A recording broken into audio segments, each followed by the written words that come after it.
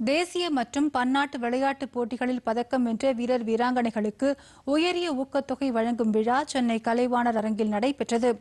விளையாட்டுப் போட்டிகளில் பதக்கம் வென்ற நூற்று தொன்னூறு வீரர் வீராங்கனைகளுக்கு நான்கு கோடியே எண்பத்தி ஐந்து லட்சம் ரூபாய் அளவிலான ஊக்கத்தொகையினை முதலமைச்சர் மு க ஸ்டாலின் வழங்கினார். இளைஞர் நலன் மற்றும் விளையாட்டு மேம்பாட்டுத் துறையில் தமிழ்நாடு விளையாட்டு மேம்பாட்டு ஆணையம் சார்பில் நடைபெற்ற இந்த நிகழ்ச்சியில் அமைச்சர்கள் மெய்யநாதன் சேகர் பாபு நாடாளுமன்ற உறுப்பினர் தயாநிதி மாறன் உள்ளிட்டோர் கலந்து கொண்டனர்.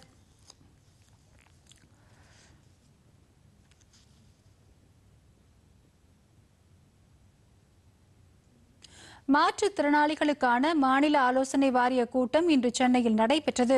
முதலமைச்சர் மு க ஸ்டாலின் தலைமையில் சென்னை தலைமைச் செயலகத்தில் நடைபெற்ற இந்த கூட்டத்தில் மாற்றுத்திறனாளிகள் நலன் சார்ந்து பல்வேறு ஆலோசனைகள் மேற்கொள்ளப்பட்டன. கூட்டத்தில் பேசிய முதலமைச்சர் மு க ஸ்டாலின் புதிய அரசு பொறுப்பேற்றவுடன் மாற்றுத்திறனாளிகளின் பராமரிப்பு உதவித்தொகை ஆயிரம் ரூபாயிலிருந்து உயர்த்தப்பட்ட இரண்டாயிரம் ரூபாயாக வழங்கப்படுவதாக கூறினார். இதன் மூலம் இரண்டு லட்சத்து பதினோராயிரத்து முன்னூற்று தொன்னூற்று ஒரு மாற்றுத்திறனாளிகள் பயனடைந்துள்ளதாக அவர் தெரிவித்தார்.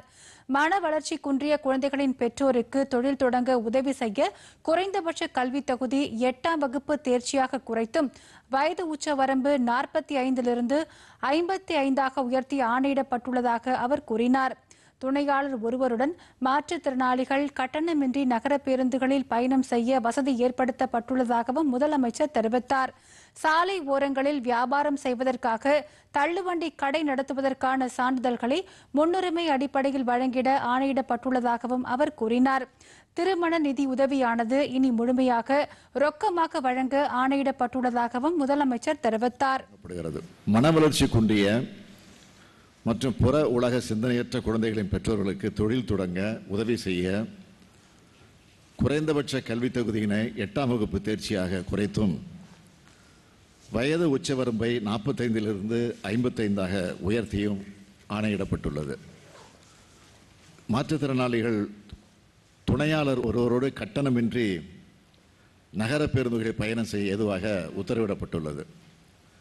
உதவித்தொகை மற்றும் உதவி உபகரணங்கள் வேண்டி காத்திருப்போர் அனைவருக்கும் நிலுவையின்றி சிறப்பு நிதி ஒதுக்கீடு செய்தும் நமது அரசால் ஆணையிடப்பட்டுள்ளது.